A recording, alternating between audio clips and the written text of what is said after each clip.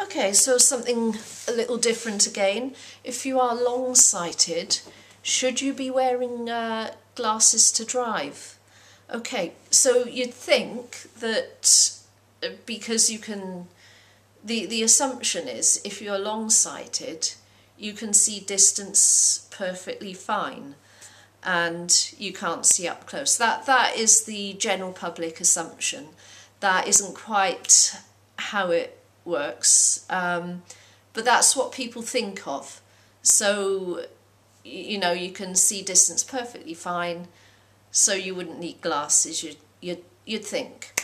Um, well, there's a few um, factors to consider here. You've still got to look at the dashboard, and the dashboard is a closer distance.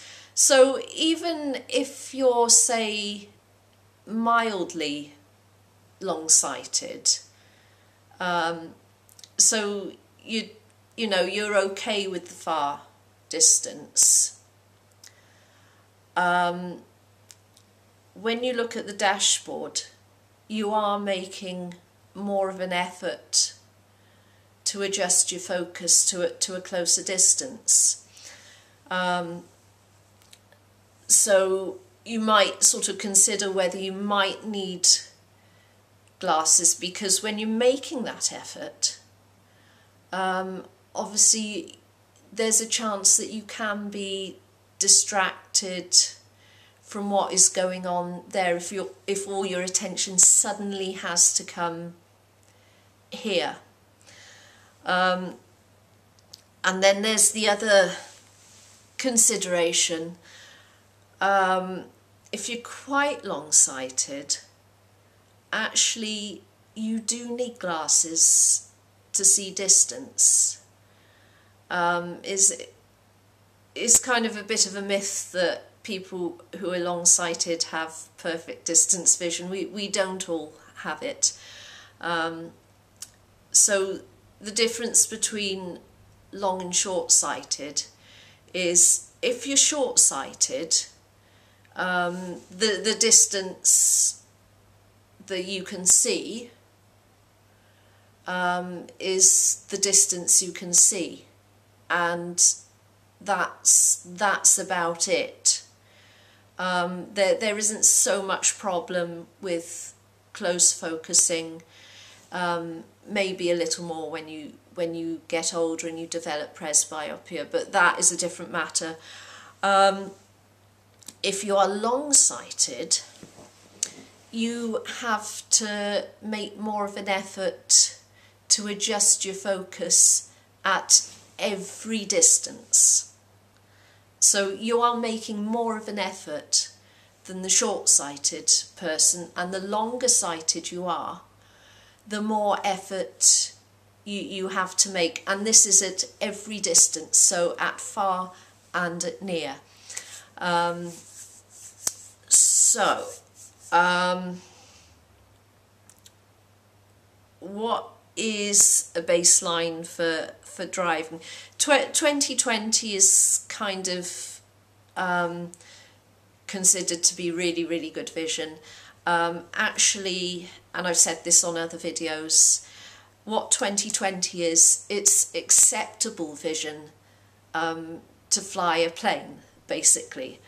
Um, so it's not the greatest vision, it's good vision, um, certainly, but the best visual acuity is probably around um, maybe 2015, 2012.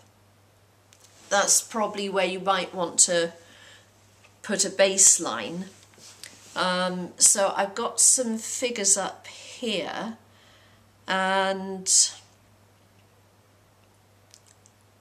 So if you've got between 2030 to 2040, that would be a minus 0.5.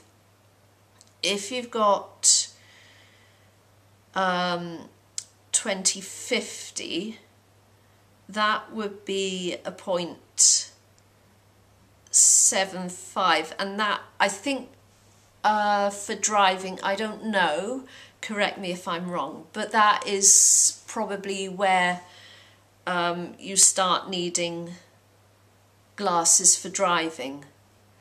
Um, again, I could be wrong, so do, please do not take this as read and go out and think, oh yeah, my eyesight's fine for driving. Um, I'm just guessing off the top of my head here. Um, now, I would say for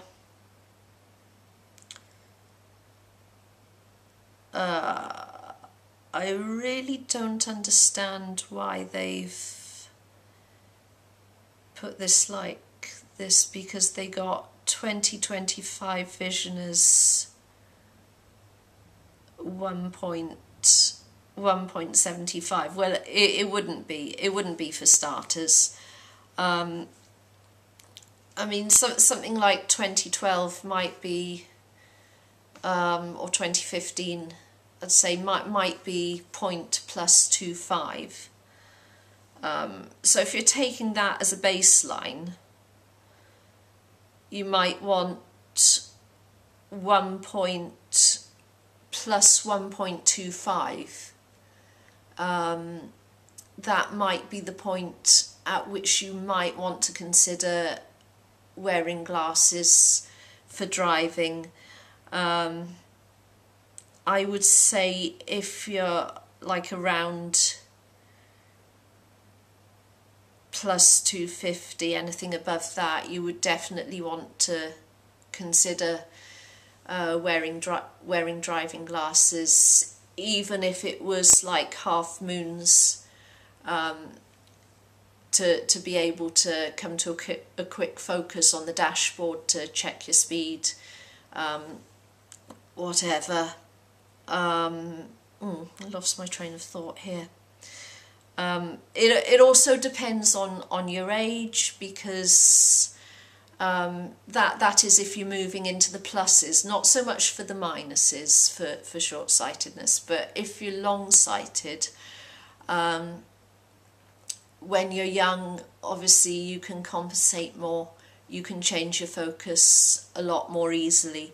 Um, so like say when you get to your 40s, perhaps if you're long sighted by about 250, you probably definitely uh, want to be wearing glasses by then. Um, but yeah, I've kind of picked up this topic because um, you hear about, you know, people say, oh, you need glasses for driving. And they always mean minus glasses for short-sightedness um, whether you should be wearing them for long-sightedness has never actually been considered.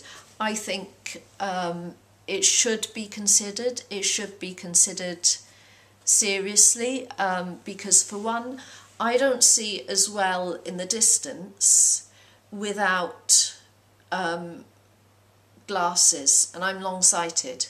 So I actually need a plus to see a bit better in, in the far distance. So it is definitely something that I think should be taken into consideration.